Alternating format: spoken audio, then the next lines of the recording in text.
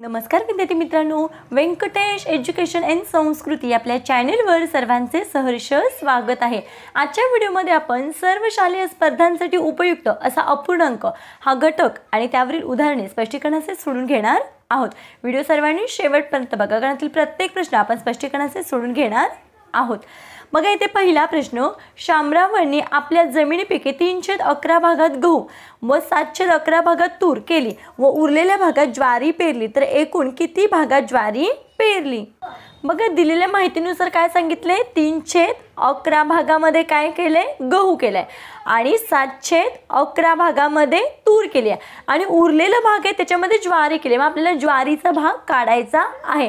मग बघा यांचं छेद समान आहे. तर आपण या अपूर्णांकांची काय करायची? बेरीज करायची मग बघा तीन अधिक सात बरोबर किती? बघा तीन अधिक सात. आणि छेद समान आहे त्याच्यामुळे आपण एकदा लिहिला तरी चालतंय. मग तीन आणि सात दहा. दहा छेद अकरा. आता एकूण भाग किती आहे? तर अकरा आहे. जेवढा छेद असतो तेवढा एकूण भाग असतो. मग एकूण भाग आहे अकरा. आता बघा या अकरामधून हा काय सांगितलं गहू आणि तूर केलेला भाग. तो काय करायचा आहे वजा करायचा आहे म्हणजे अकरा वजा दहा आणि छेद मात्र काय करायचं आहे अकराच घ्यायचं आहे कारण एकूण जमिनीचा भाग किती आहे? अकरा आहे. मग अकरा वजा दहा बरोबर किती? एक. आणि छेद आहे तसा अकरा. म्हणून ज्वारी केलेला भाग किती आहे? तर एक छेद अकरा. म्हणजे एक छेद अकरा. एवढ्या भागामध्ये काय केलेली आहे? ज्वारी पेरलेली आहे. बघा या पद्धतीने आपण हा पहिला प्रश्न सोडवून घेतलेला आहे. दुसरा प्रश्न बघूया आपण. रिकाम्या चौकटीत योग्य चिन्ह कोणते? आता बघा इथे छेद समान आहे. मग आपण काय करतो? ज्यावेळेस छेद समान असतो त्यावेळेस अपूर्णांकांची काय करतो? बेरीज करतो. मग इथे बघा चार अधिक पाच बरोबर किती? नऊ छेद छेद समान आहे म्हणून एकदाच लिहून घेतो नऊ. आणि इथे हे ब्रॅकेट. आता दहातून तीन गेले तर इथे बाकी किती येते? सात. आणि छेद आहे तसा नऊ. आता बघा इथे नऊ आणि नऊ आहे. मग बघा नऊ एक के नऊ आणि नऊ एक के नऊ. मग एक छेद एक म्हणजेच किती एक? म्हणजे एक हा काय आहे? पूर्ण आहे. आणि हा अपूर्णांक आहे.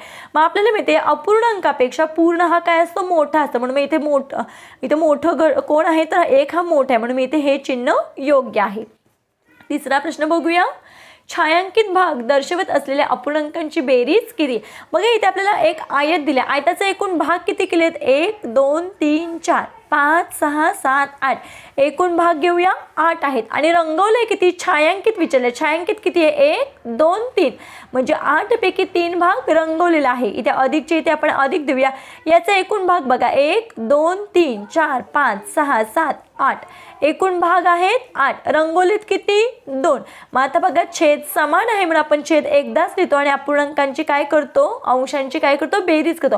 मग तीन अधिक दोन बरोबर किती? पाच छेद आठ. मग या दोन्ही अपूर्णांकांचा किती भाग छायांकित केलाय? तर पाच छेद आठ. चौथा प्रश्न बघूया. खालील अपूर्णांक चढत्या क्रमाने लावल्या शेवटी येणारा अपूर्णांक कोणता? बघा इथे आता आपल्याला बघितलं तर आपण छेद कसा आहे प्रत्येकाचा वेगवेगळा आहे. पण अंश मात्र प्रत्येक अपूर्णांकांचा काय आहे? सेम आहे. मग ज्यावेळेस अंश समान असतो त्यावेळेस काय लक्षात ठेवायचं? अंश समान असतो त्यावेळेस ज्याचा छेद लहान तो अपूर्णांक मोठा. आणि ज्याचा छेद मोठा तो अपूर्णांक लहान. म्हणजे इथे अंश समान असल्यावर इथे उलट असतं. लहान असतो तो मोठा असतो आणि मोठा तो छोटा असतो. मग आता इथे बघा सगळ्याचा अंश समान आहे. मग आता आपल्याला काय सांगितले? चढता क्रम लावायचे. चढता क्रम म्हणजे काय? लहान संख्येपासून मोठ्या संख्येकडे. मग बघा इथे आपण चढता क्रम लावून घेऊया. आता इथे सांगितलं मग मी अंश समान आहे. म्हणून मग जो मोठा तो छोटा असणार आहे. मग नऊ छेद पंधरा हा अपूर्णांक पहिल्यांदा येणार आहे.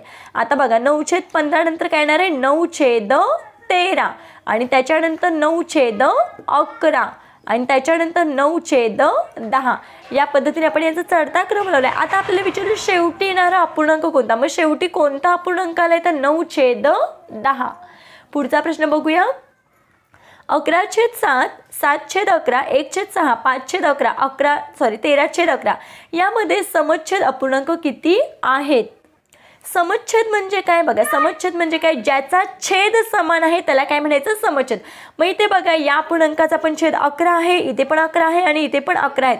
मग किती आहेत? तर बघा इथे सात छेद अकरा पाच छेद अकरा आणि तेरा छेद अकरा.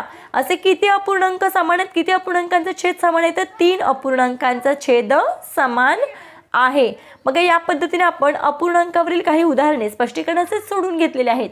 आशा करते आपल्या सर्वांना हा व्हिडिओ आवडला असेल. व्हिडिओ आवडल्यास व्हिडिओला लाईक करा. आपल्या मित्रमैत्रिणींना शेअर करा. चॅनल नवीन असाल तर चॅनलला सबस्क्राईब करा. व्हिडिओ कसा वाटला ते कमेंटमध्ये नक्की सांगा. स्पर्धा परीक्षेच्या अधिक माहितीसाठी तुम्ही मी डिस्क्रिप्शनमध्ये जो नंबर देते त्याच्यावर तुम्ही मला नक्कीच कॉल करू शकता. भेटूया पुढच्या व्हिडिओमध्ये. तोपर्यंत नमस्कार. थँक्यू.